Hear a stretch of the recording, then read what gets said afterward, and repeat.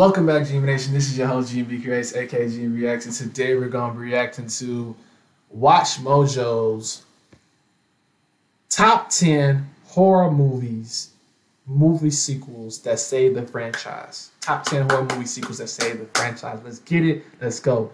Oh, the thumbnail has showed it was uh Michael Myers, and that was a good one. That Halloween one that recently came out, that was a good one. Yes, sir. But let's go ahead and get into their top 10 WatchMojo horror sequels. Let's go. I feel like Final Destination is definitely going to be here on, on here. If not, then definitely Jaws. Or so many different horror movies, Brad. Let's get into it. Let's see. In three, two, one, subscribe. Why? Because I've seen enough horror movies to know any weirdo wearing a mask is never friendly. Welcome to WatchMojo, and today we're counting down our picks for the top 10 horror movie sequels that redeemed the franchise. This time you're going to lose. My friends call me Chucky. Oh my god, I love it. I've seen it five times and it still gets me every time. For this list, we'll be looking at sequels that brought back a horror movie franchise. We're not so much looking at the best horror sequels as sequels that got their respective franchise back on track. Let us know in the comments what horror sequel you think we should have included on the list. Number 10 Ouija Origin of Evil. Let's begin. I never watched that one. Too When Ouija came out in 2014, nobody was impressed by the movie. The consensus being that it was another forgettable horror flick about a supernatural force offing teenagers. Was there something I could have done? This isn't surprising given how hard it is to take a horror movie about a Ouija board seriously. But then a prequel came out in 2016 called Ouija Origin of Evil, and critics and audiences agreed it was much better than its predecessor, something rare with movies in general. What is all the yelling? Look what she did! Did you do this? No, she's lying. No. She's lying. I look, you want to see it now. All right. This was in large part thanks to director Mike Flanagan, whose previous work included Oculus and Hush. Number 9 Curse of Chucky. My friends call me Chucky. You're dead. No, you are. The Child's Play Man, I stopped watching Chucky after The Bride of Chucky, bro. There's only a few good Chucky's um, movies. The original was the best one, of course.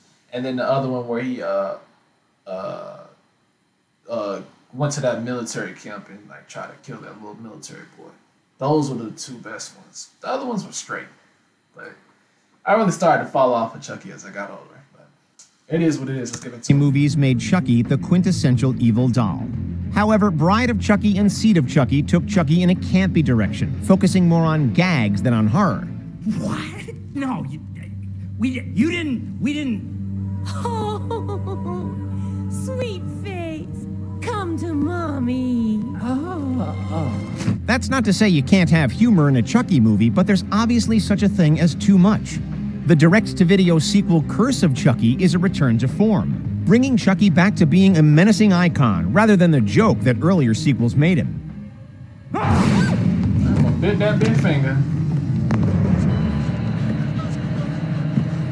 Speaking of getting back to basics, Alex Vincent, who played Little Andy in the first two Child's Play movies, makes a brief appearance in a post credit scene, ensuring that fans of the series stay tuned for future installments. Play with this. Blah. Andy! Number 8, Saw 6.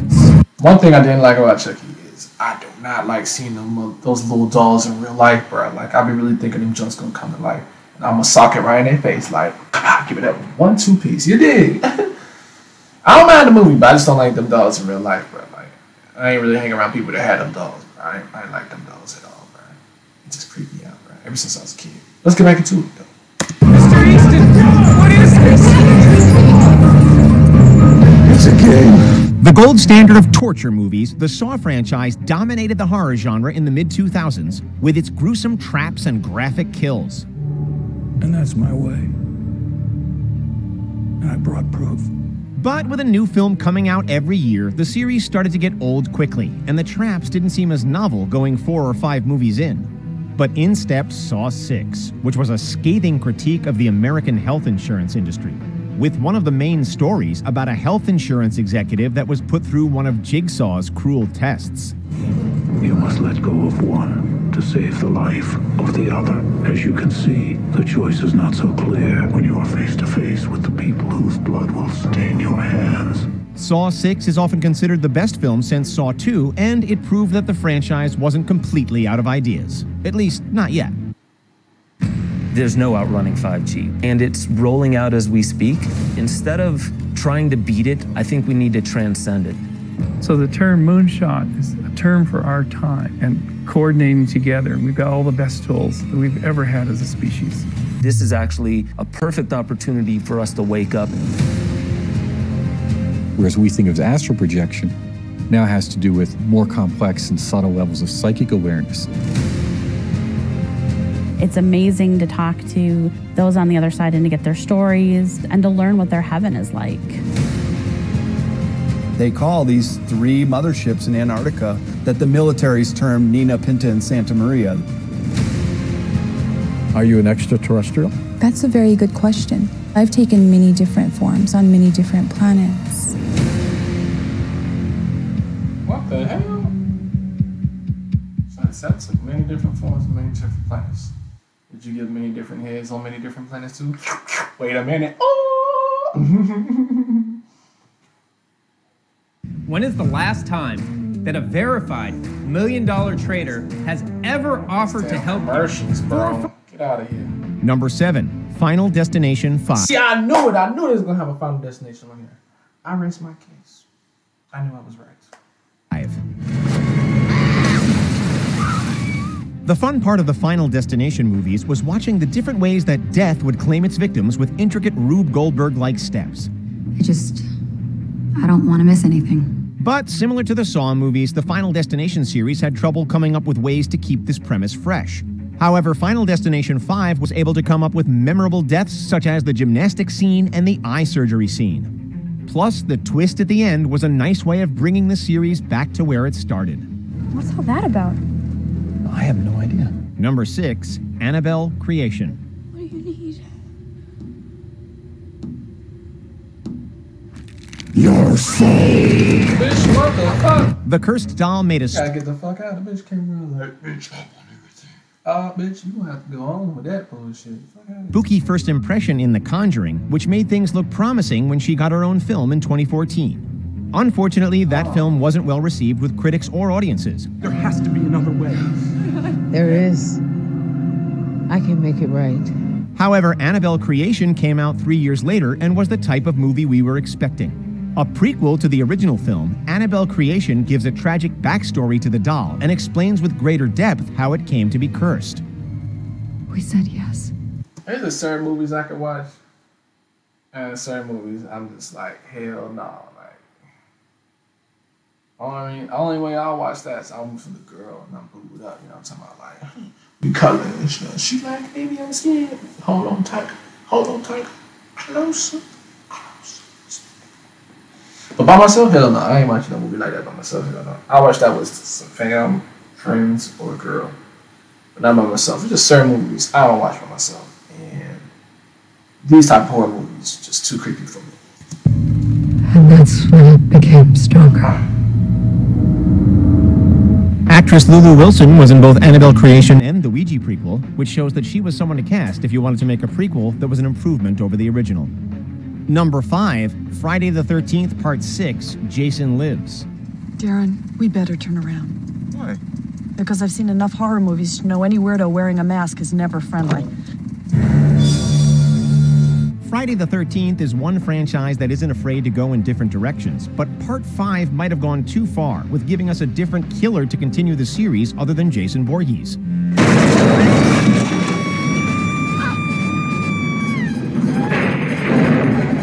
Luckily, Part 6 remedies this mistake by bringing back Jason, wasting no time by resurrecting him in the opening scene. Jason Lives does have humor that sends up the franchise with a lighthearted touch, but thankfully, the franchise did not continue in this direction beating a dead horse, like Nightmare on Elm Street did with Freddy.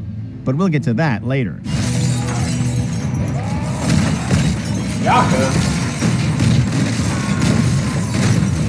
Number four, The I Ex- remember when that came out, bro. I gotta rewatch that. Who won that one? I think it was Jason. No, it was Freddy. I think won that one. I think. Yeah. That's crazy. Exorcist 3. And her night. This time you're going to lose. The original Exorcist is one of the scariest films of all time, and Exorcist 2 is anything but.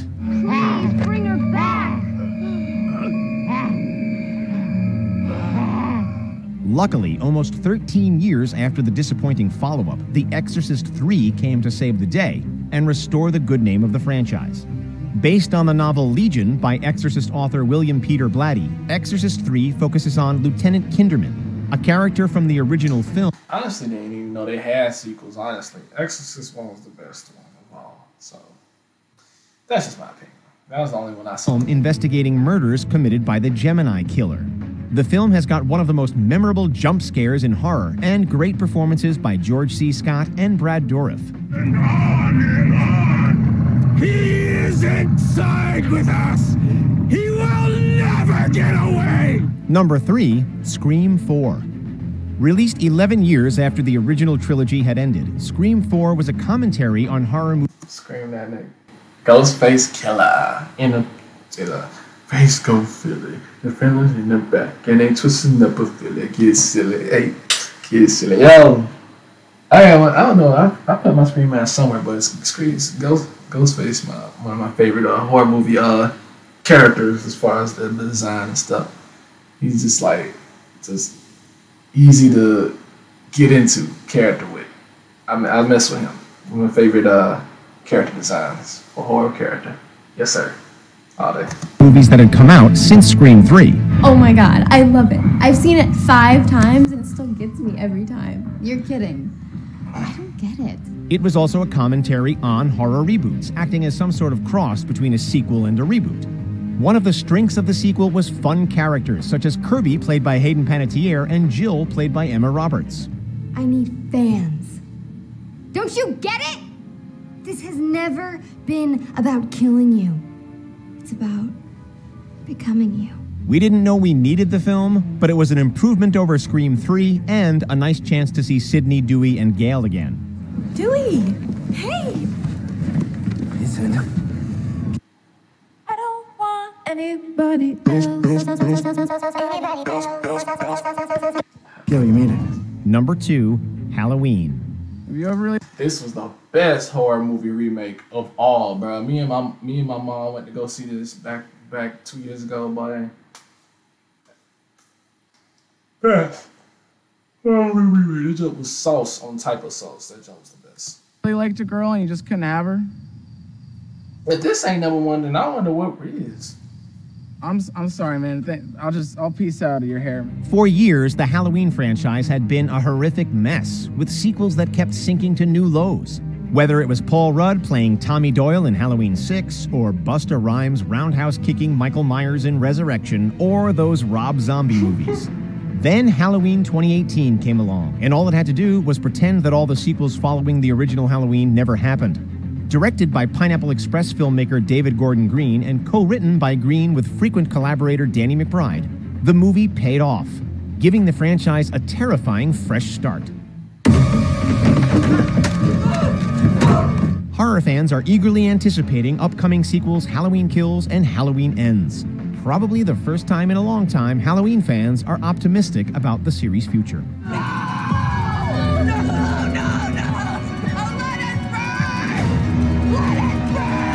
Before we continue, be sure to subscribe to our channel and ring the bell to get notified about our latest videos. You have the option to be notified for occasional videos or all of them. If you're on your phone, make sure Wait, you was that a spoiler? I don't remember that part of the movie, but I the upcoming trailer for the new film gonna be fire though, ain't it? Yeah, I can't wait to see that new Halloween next year. you go into your settings and switch on notifications. Number 1 Wes Craven's New Nightmare. Miss me? Perhaps no horror movie character was hurt by sequels more than Freddy Krueger. While Dream Warriors was a step up from Freddy's Revenge, he was cracking jokes every chance he got by Dream Child and Freddy's Dead, and no one could take him seriously anymore. I'll get you, my pretty, and your little soul, too. That's a shame for such a sinister figure. That all changed when Wes Craven came back to the A Nightmare on Elm Street franchise to direct a movie where Freddy was the menacing figure Craven originally intended him to be. Hey, Dylan. Ever played in the cat? New Nightmare gave Freddy the respect he deserves as a horror icon. Do you agree with our picks? Check out this other recent clip from WatchMojo. And I haven't seen a Freddy Krueger movie since I was like little, so I have little knowledge of the films. I know of his character and what he's capable of and what he does, but I don't remember any of the films at all. I don't even think I watched all the films. I probably saw like one or two. I saw more Jason movies than I have Freddy movies. Eventually, I'll go back and watch all the sequels and stuff, but that's neither here nor there. I just wanted to see where they placed the Halloween recent one that I had seen. I was surprised I didn't put the It one on here. The It one was really freaking good. The remake for It, y'all slipping, bro. Y'all really slipping. Y'all should have put the remake on It for this one. It and It too. Those were top notch from the last two years. And I'm surprised I didn't put that on there. Hopefully they do another set of these top 10 horror movie sequels that save the franchise, but if not, to say the least, y'all could have scratched one of these films and put in uh, uh, the It one. Because the Chucky film was alright. Y'all could have scratched that Chucky's remake and put in this It one. Or what or even the Exorcist one y'all could have scratched out. I feel like there was some y'all could have scratched out from this top ten and put in it because it was it was it, bro. Like everybody watched the it one. But that's just my opinion. Alright, um besides that, uh, let me know what y'all favorite scary movie is or remake is and my personal opinion, it and Halloween were my best remakes in the past three years. Hands down. Change my mind in the comment section down below. But without further ado, um, that ends today's video, man. Y'all check out some more uh, of my scary reactions. I even did some scary gameplay last year. Y'all check out that in this playlist right here. Uh, scary reactions, scary gameplay, and um, y'all make sure y'all subscribe to your boy right here. That's me, your boy GMB Reacts. Turn on the post notifications down below. Hit that bell button. You already know what time it is. And um, that ends today's video. This is your boy GMB Creates, aka GMB Reacts. GMB out. Boom. Let's go. Yes, sir. For more content, stay tuned.